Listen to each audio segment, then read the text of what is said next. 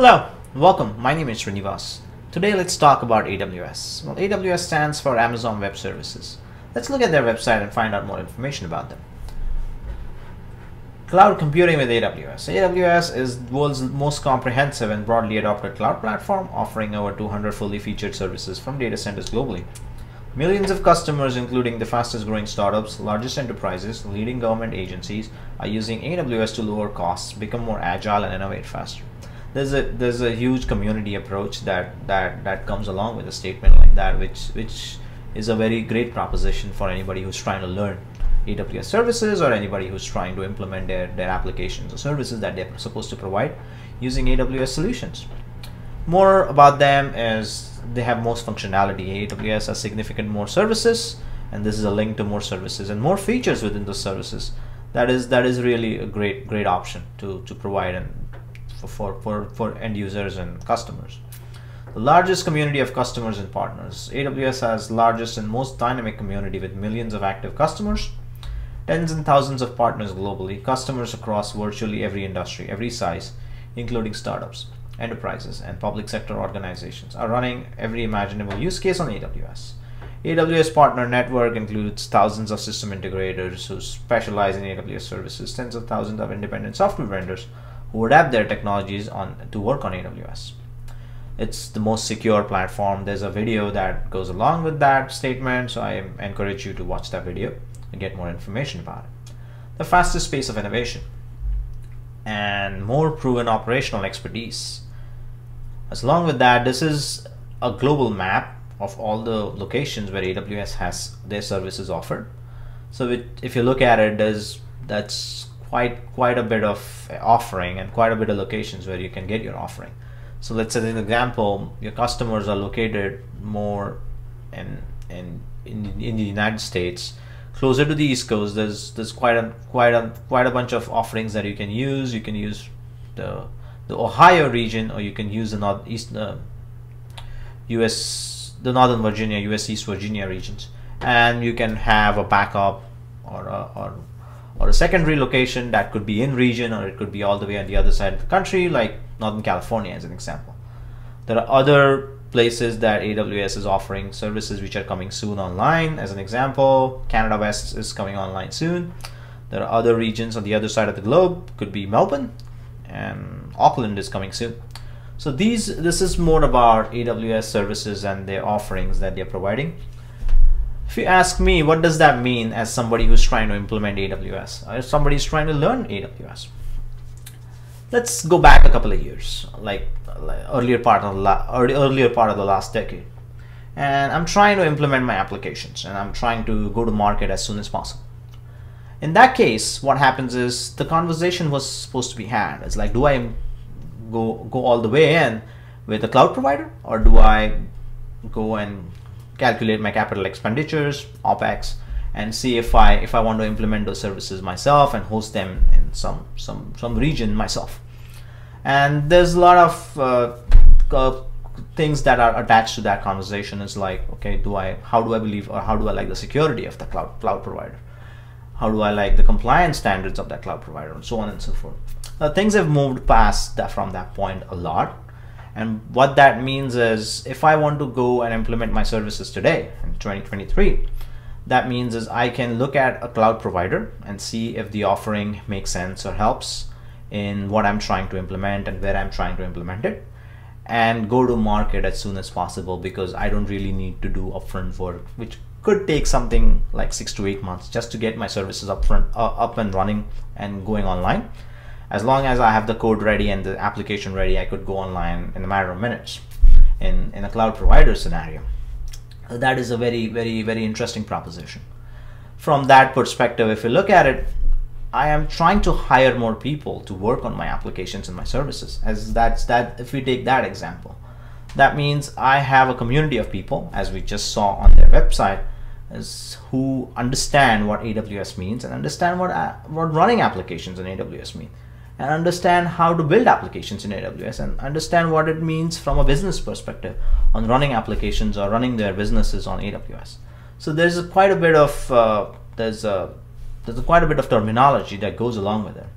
as let's take an example for that matter let's say I am trying to implement Linux Linux servers and I'm trying I'm doing that using Ansible I'm doing that using CentOS what that means for me is I could be implementing them myself in my own data centers in my own own own, own ways. And that could be could be very different than somebody else doing it and implementing it using the same two technologies that we talked about. But when we come and say that we are going to implement our applications on EC2 that narrows down that conversation and the common understanding about what that means in implementing our services is is is is not as as there's there's a, there's a there's a limited learning curve that that goes along with it that's the point i'm trying to make so that is that is one of the great reasons why applications and uh, running services on, on cloud com computing platforms like aws makes a lot of sense so let's look further on what, what, what how do I how do I interface with AWS? And let's look further about understanding and getting more resources and, and using AWS services.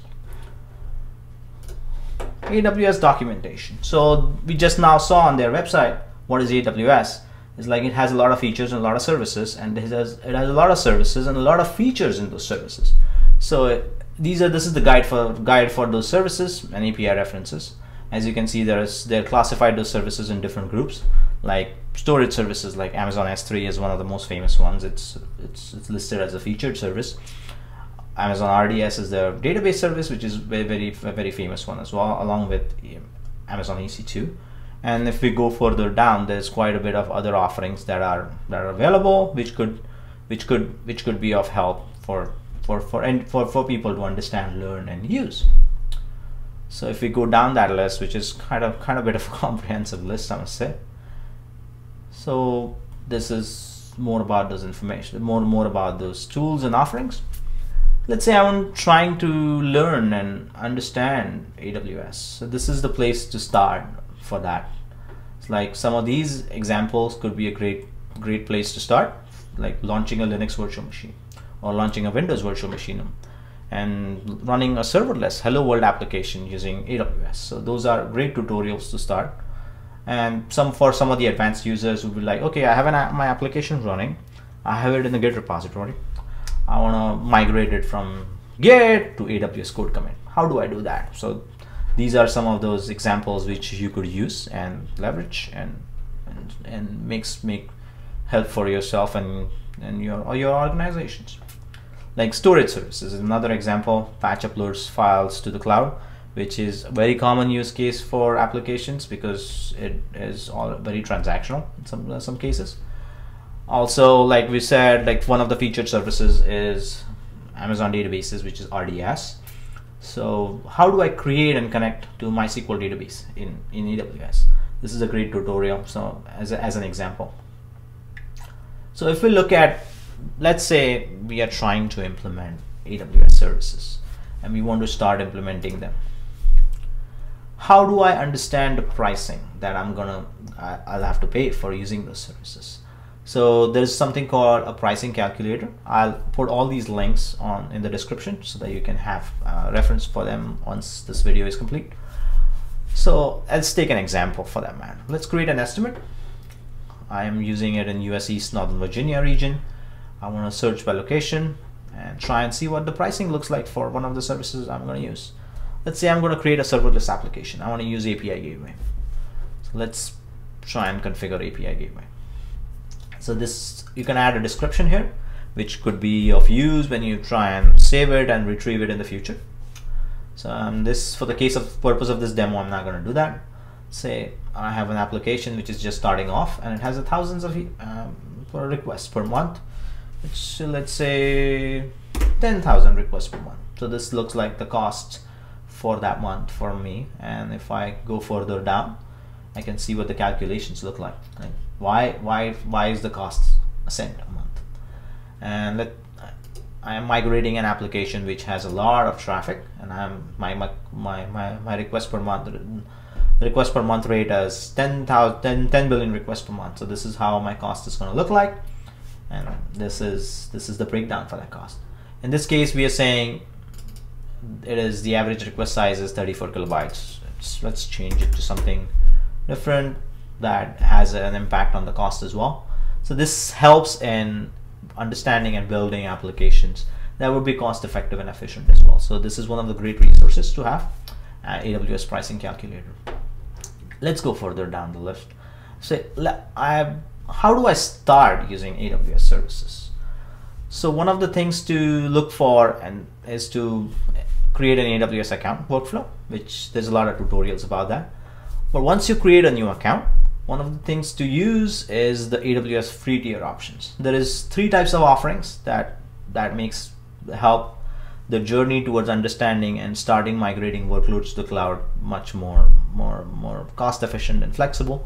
Is like there are a couple of options for free trials. There's some services that are available for 12 months free because it's a new account and the new signing and some services uh, aws does offer as always free that they are always going to be free for certain uh, limited use cases. Let's look at some of those options and and to, to understand them better. Like compute amazon ec2 one of the featured services.